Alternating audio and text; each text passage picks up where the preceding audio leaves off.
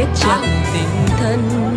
Viễn canh lộc những băng khuâng, xuân này chắc gặp tình quân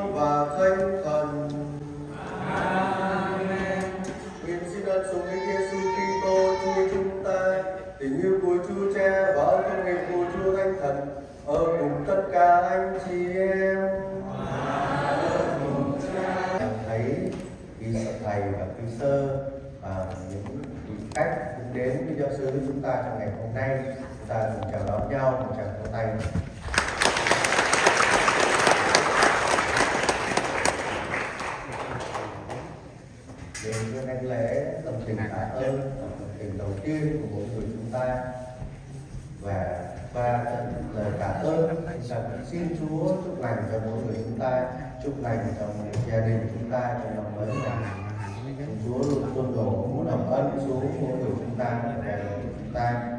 Và chúng ta cũng cầu nguyện cho những người thân, những người thân yêu của chúng ta tại gia đình chúng ta, sớm được hưởng nhận thánh Chúa. Để lời tạ ơn và xin ơn của mỗi người chúng ta được xứng đáng khi Chúa đón nhận. Giờ đây chúng ta thành tâm sám hối trong lòng của chúng ta. Tôi thu nhận Oh, give to our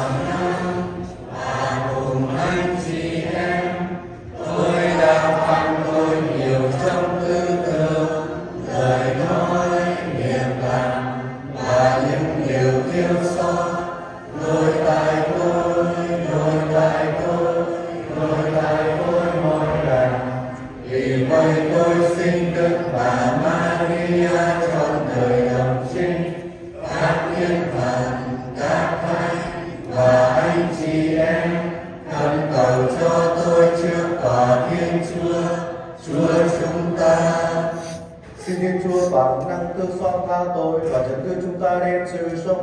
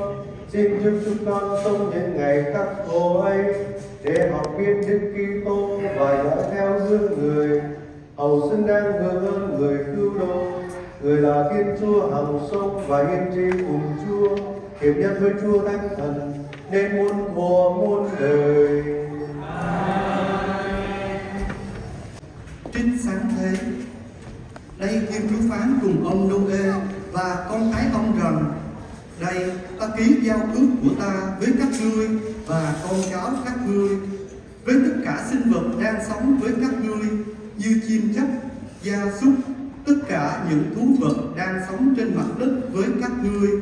Những gì ra khỏi tàu và toàn thể thú vật trên mặt đất ta ký kết giao ước của ta với các ngươi.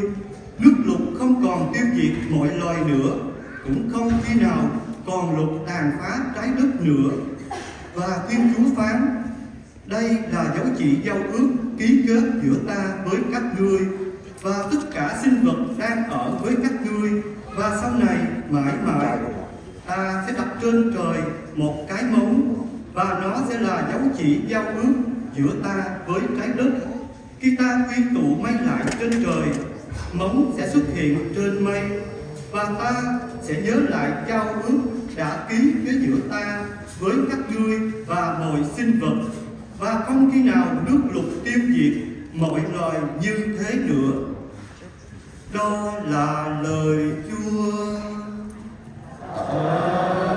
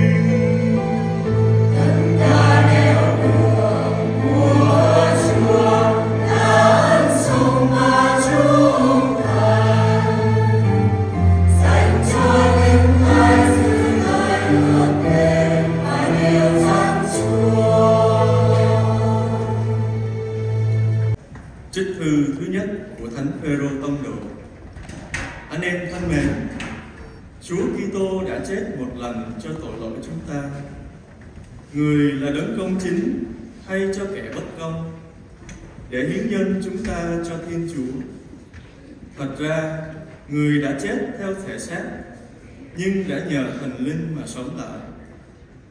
Với thần linh, người đã đến rao giảng cho những tâm hồn bị giam cầm, cho những kẻ xưa kia có lúc không tin, đang khi lòng nhân từ Chúa còn khoan giãn lúc ông Noe đóng tàu. Nhờ đó, một số ít người gồm tất cả tám người được cứu khỏi nước lụt. Và hiện giờ, phép thanh tẩy cũng cứu thoát anh em cũng giống như thể thức ấy. Vì phép ấy không phải chỉ rửa sạch thân xác, mà đó là lời cầu xin Thiên Chúa ban cho một lương tâm ngay thẳng. Nhờ sự phục sinh của Chúa Giêsu Kitô đấng ngự bên hữu Thiên Chúa, sau khi về trời đã bắt các thiên thần, các quyền thần và các đạo binh suy phục người. Đó là lời Chúa. Chúa Amen.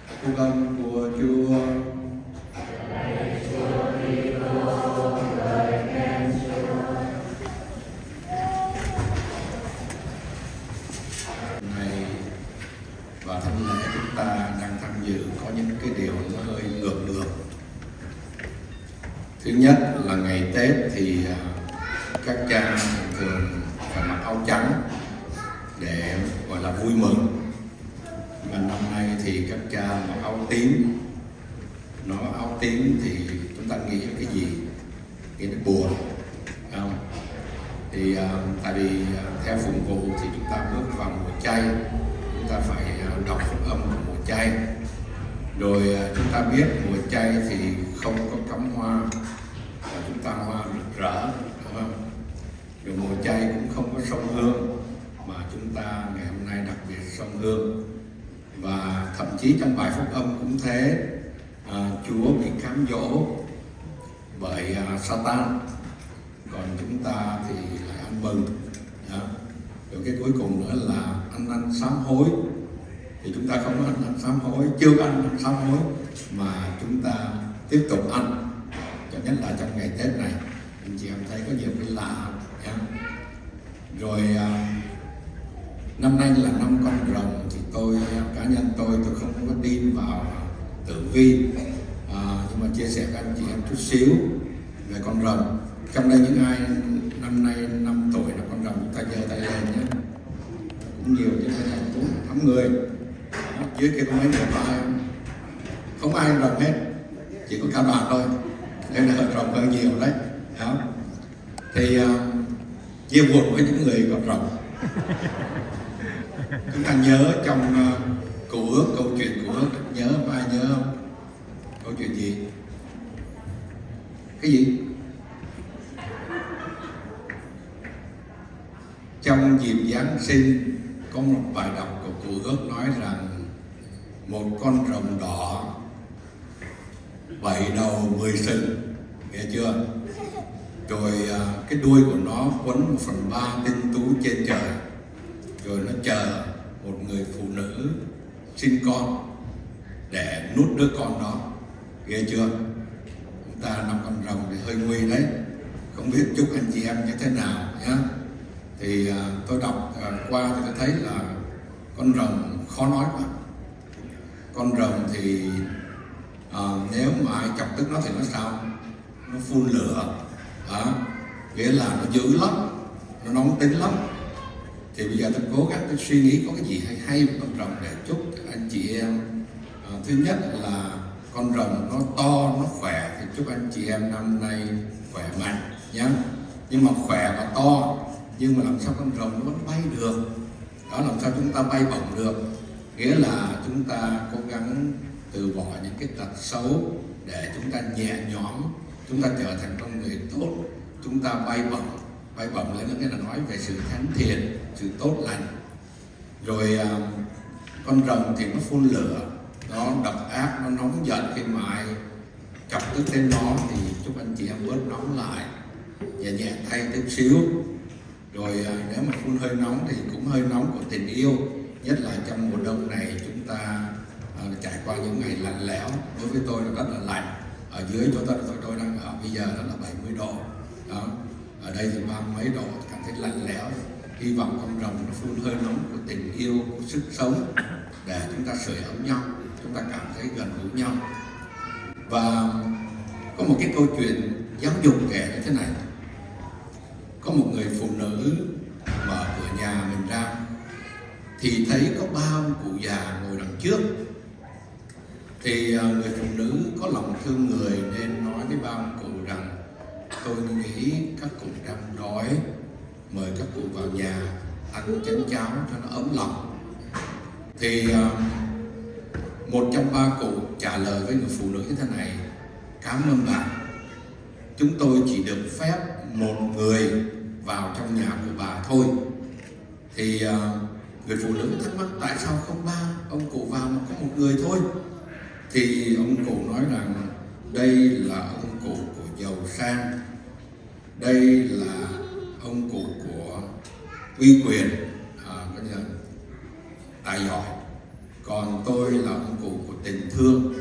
Bây giờ bà vào trong nhà bà bàn với chồng của bà đó chọn ông cụ nào đi. Một ông vào thôi. Thì à, người vợ vào trong nhà và với ông chồng thì ông chồng nói ôi mừng quá. Chúng ta không mời ông cụ giàu sang vào khi chúng ta có tiền rồi.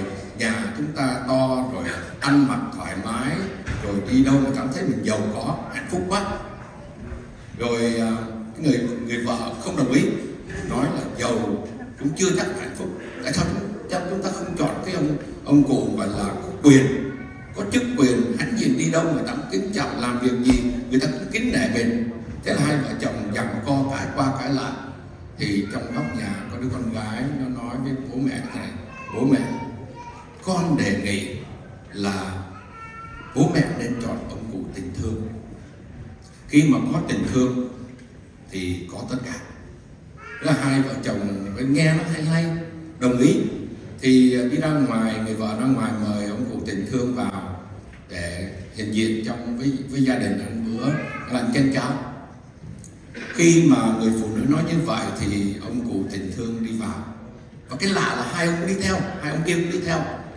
Thì cái người phụ nữ thắc mắc là tại sao hôm nay các cụ nói rằng uh, chỉ có một cụ vào trong nhà thôi mà bây giờ tại ba ông đi cùng một lúc làm sao? Thì ông cụ tình thương ông trả lời như thế này. Thưa bà khi mà có tình thương rồi thì mọi sự khác sẽ theo sau. Tiền bạc quyền hành sẽ theo sau.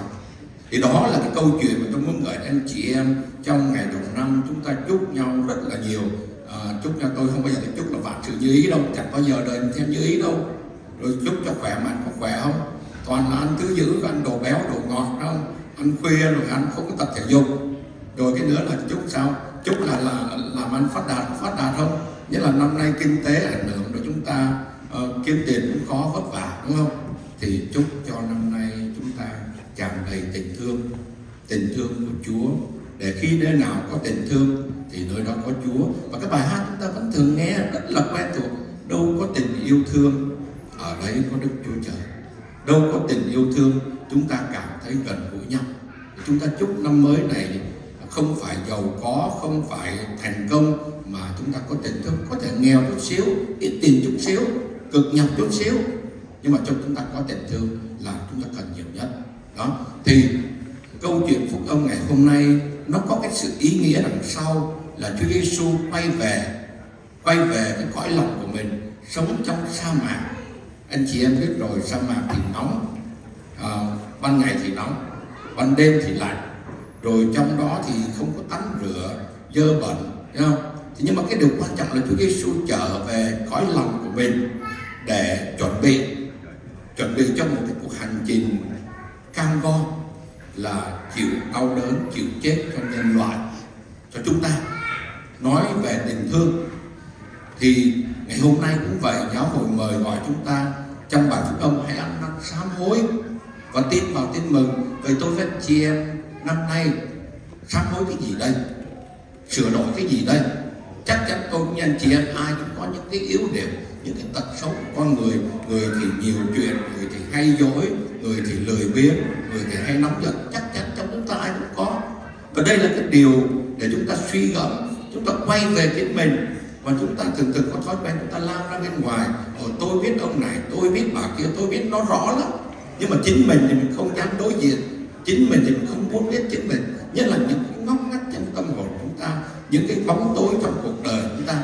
Mà ngày hôm nay sám hối, là quay về quay về đối diện chính mình. Mà có những lúc chúng ta không dám hay là không đủ can đảm để đối diện chính mình, thì chúng ta xin Chúa Giêsu ngài đã đi trước. Ngài đã chỉ lối cho chúng ta cách quay về là ăn năn sám hối, biết chính mình là ai, sửa một cái tật xấu nào đó. Chúng ta không cần sửa hết đâu. Sửa hết chúng ta làm thánh mà thánh rồi.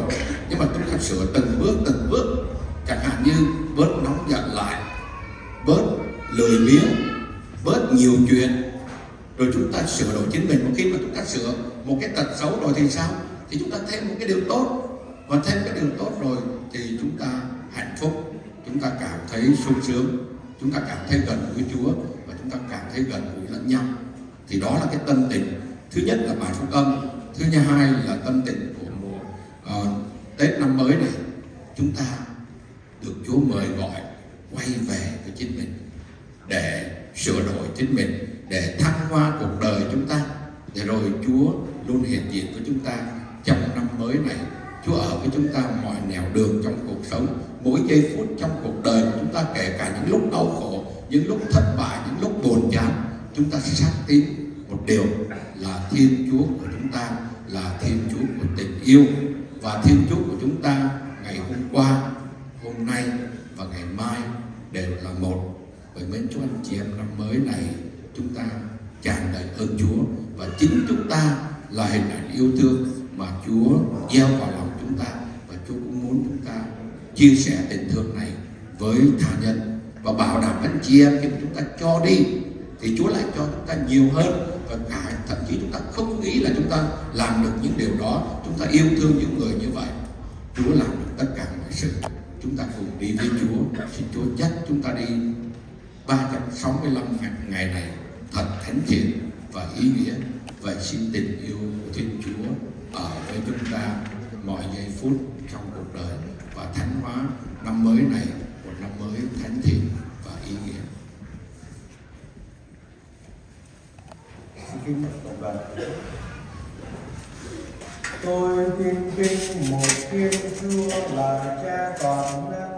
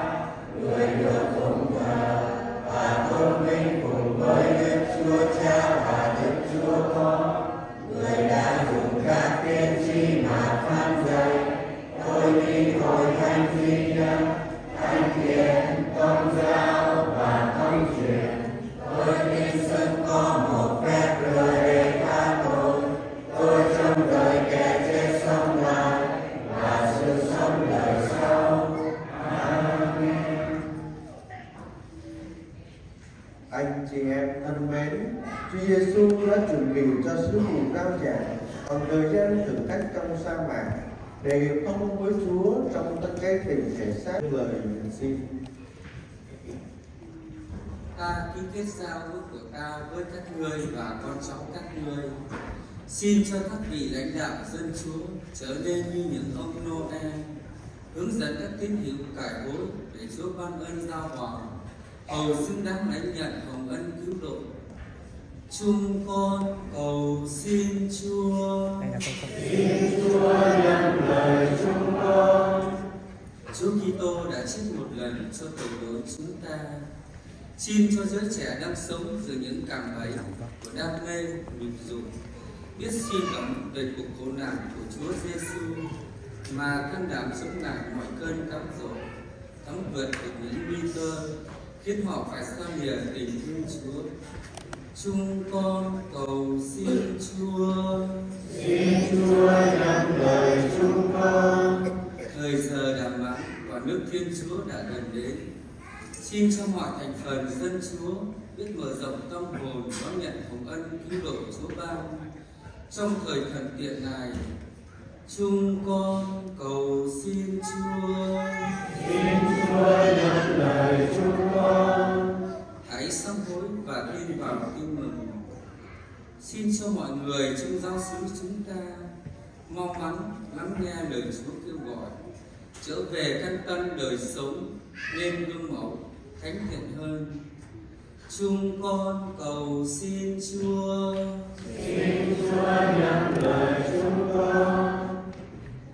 Chúng ta cùng nhật ký với những người xin tạ ơn và xin ơn. Xin tạ ơn Chúa. Chúa. Lạy Chúa Cha toàn năng, Thánh Thần Cha đã hướng dẫn Đức Tô tiến vào hoang điển, sống những ngày thân mật với Cha. Xin cho chúng con cũng nhờ Chúa Thánh Thần mà thi hành những điều Cha đã truyền ban, đặc biệt trong mùa chay thánh này. Chúng con cầu xin nhờ Đức Kitô Chúa chúng con. Amen.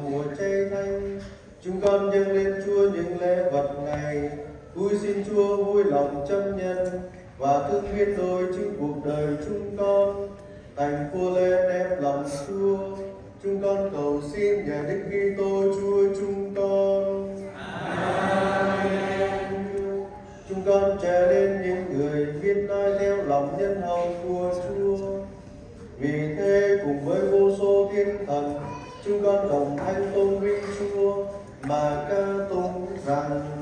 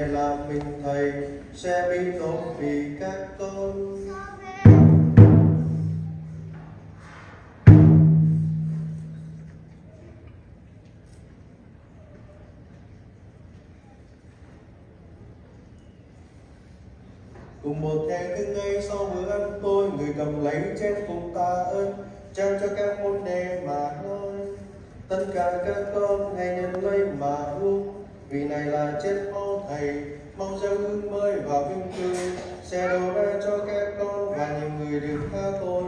Các con hãy làm việc này mà nhớ đến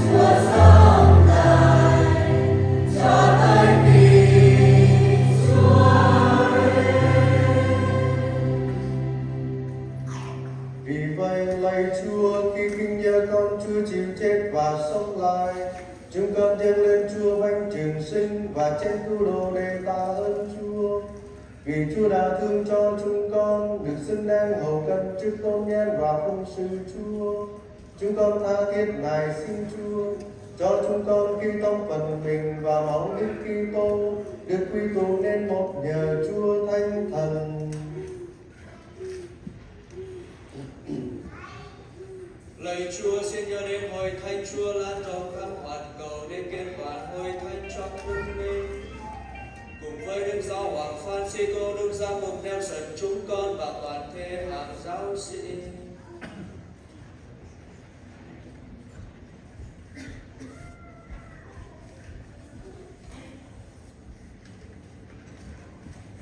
Chúa cùng nhớ đến các anh chị em chúng con đang an nghỉ trong niềm hy vọng sống lại. Và mọi người, đặc biệt các bậc tôn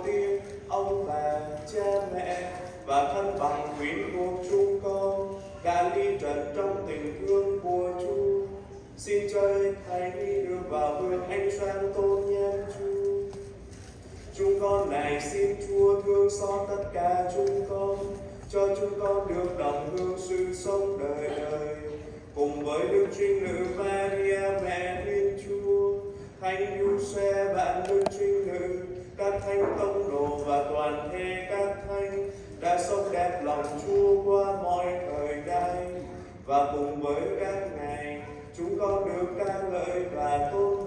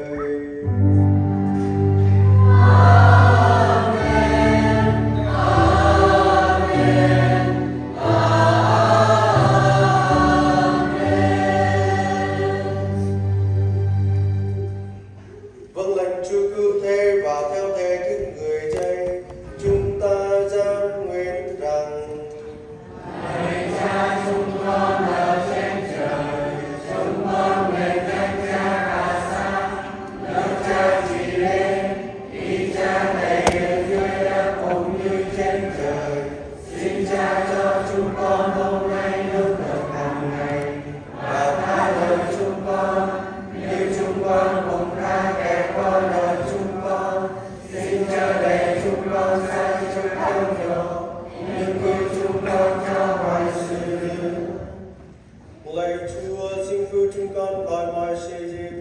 Xin nói thương cho những ngày chúng con đang sống được bình an. Nhờ Chúa đồng lòng thương cứu chúng, chúng con sẽ luôn luôn thoát khỏi tội lỗi và được an toàn khỏi mọi biến loạn. Đang khi chúng con mong đợi niềm hy vọng hồng cung và ngày trở lại của Chúa Giêsu Kitô, đấng cứu độ chúng con. vì vương quyền uy lực và minh quang làm của Lạy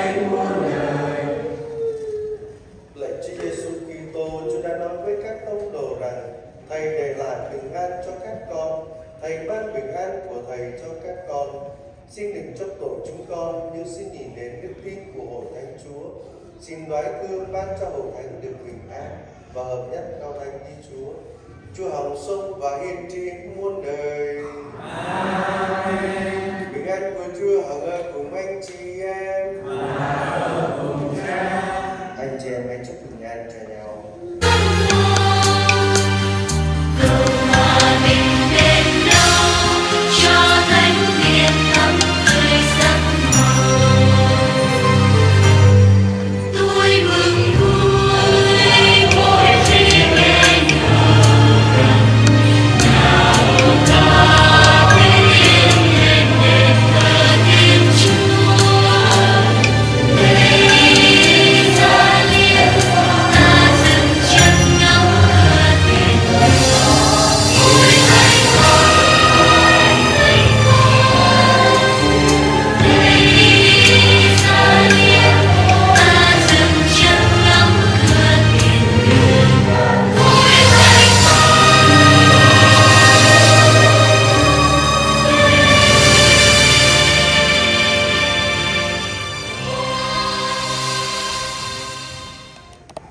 Đây xin Thiên Chúa để đem xóa tội trần gian, cục trai được mời đến như tiệc trên Thiên Chúa.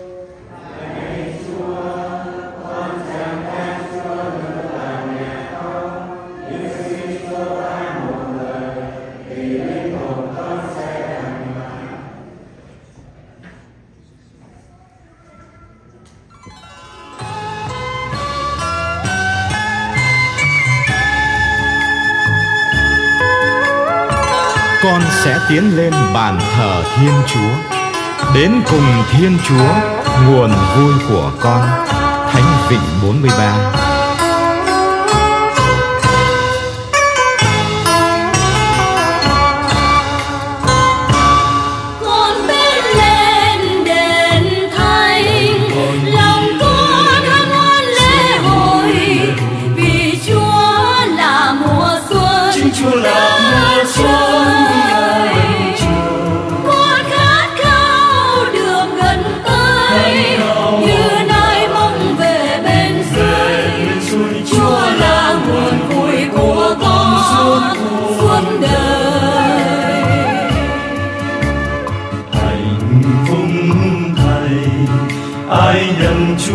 làm sớm thành luôn mơ ước đêm ngày đường về thành thánh này Jerusalem ơi, làm sao cho chóng đến đời để thờ lạy Chúa, quyền năng từ ai tuyệt vời?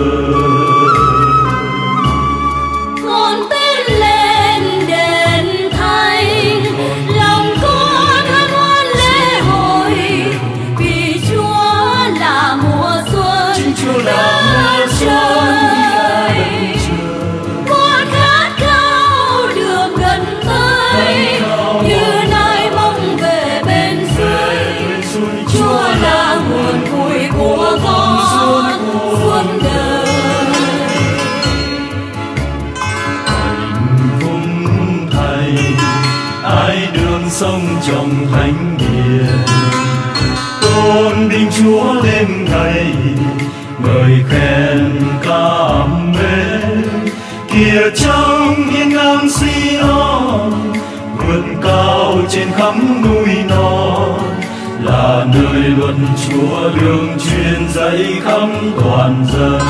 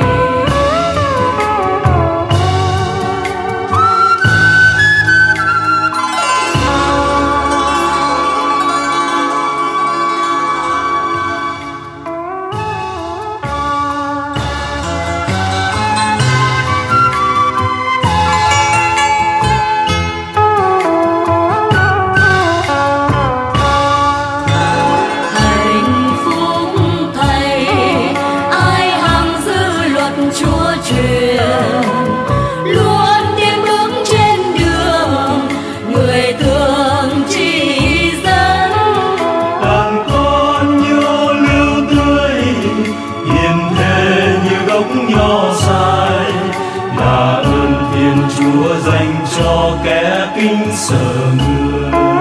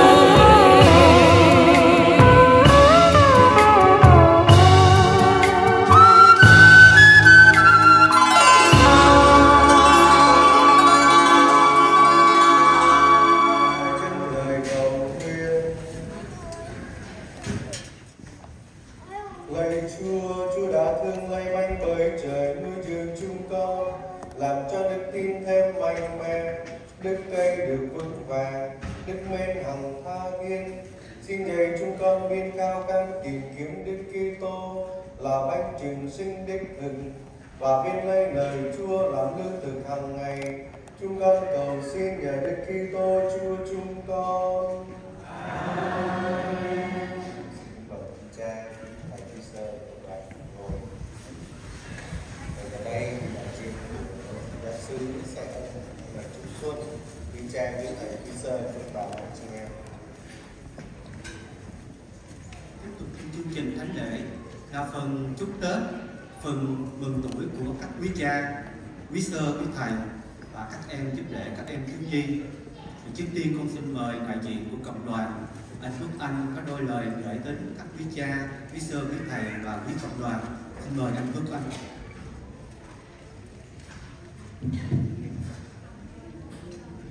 Kính thưa quý cha, quý sơ, quý thầy và toàn thể quý vị quan khách gần xa. Trong không khí hân hoan đón chào năm mới Giáp Thìn 2024, con xin được đại diện cho ban chấp hành cộng đoàn Đức Mẹ Thông Viếng kính gửi lời chúc sức khỏe và lời cảm ơn chân thành nhất đến quý cha, quý sơ, quý thầy và toàn thể quý vị đã dành thời gian đến để dâng lễ cầu nguyện và cùng chung vui với cộng đoàn chúng con trong ngày Chúa Nhật hôm nay. Quý vị có thấy bàn thờ và sân khấu hôm nay được trang trí đẹp không ạ?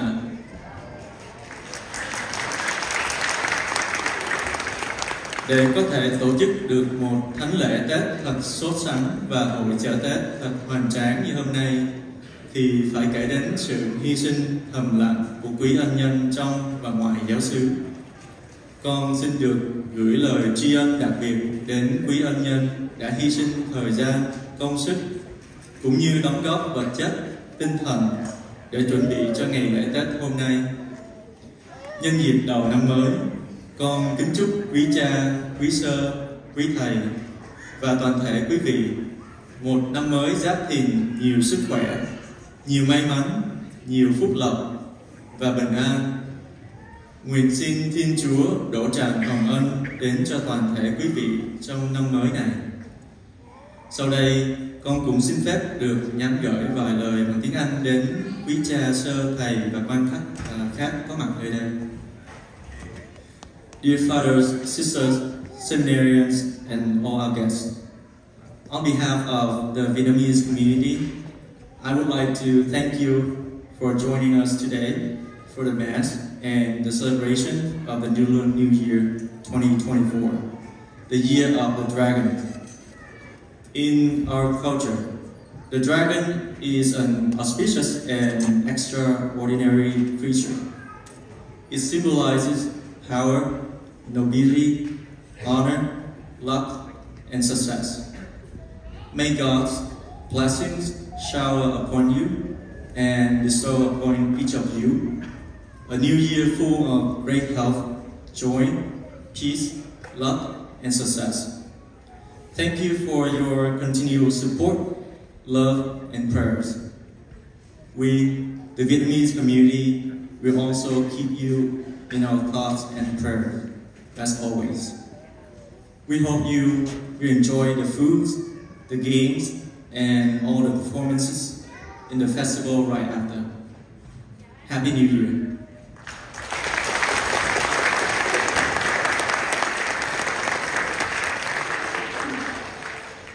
Và sau đây là phần mừng tuổi của các quý cha. Vậy con xin mời anh chủ tịch của cộng đoàn các Mẹ Tâm Viếng xin lên mừng tuổi các cha.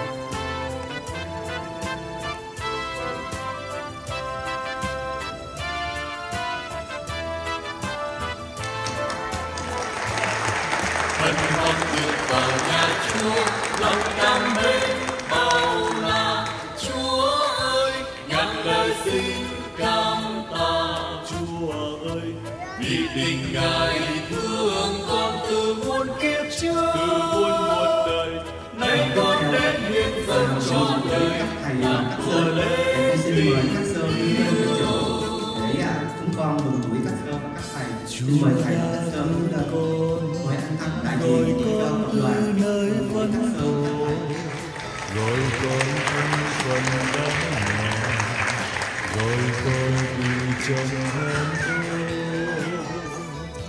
Chúa vẫn thương con Tròn con gieo niềm tin mới Lừa con đem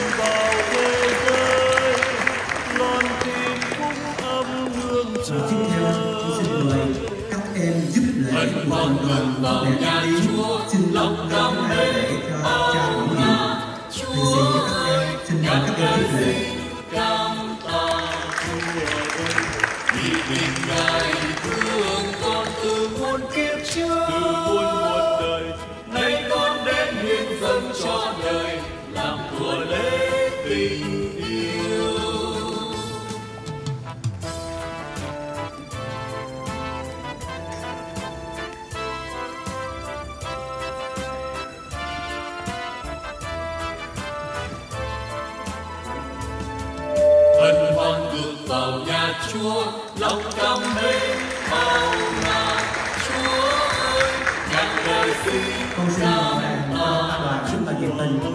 hỏi đặc biệt là quá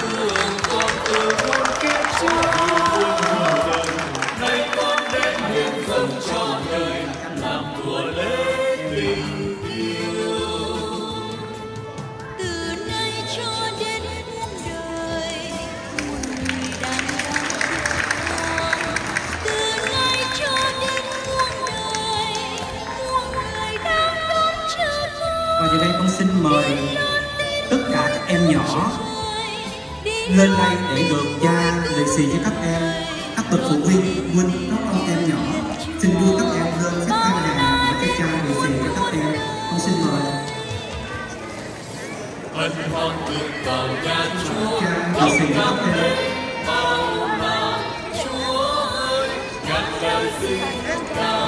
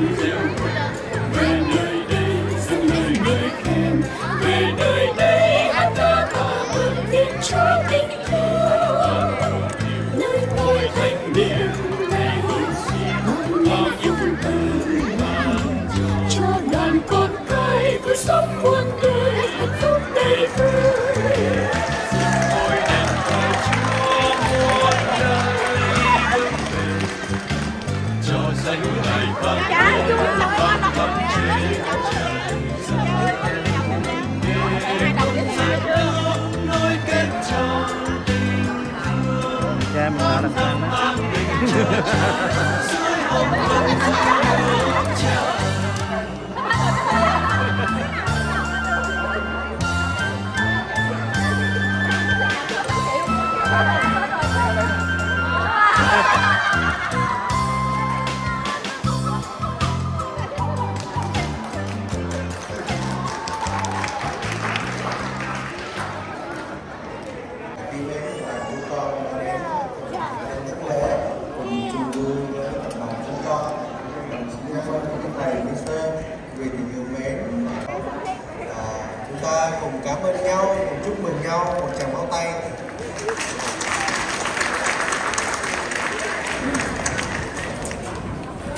chưa cùng anh chị em.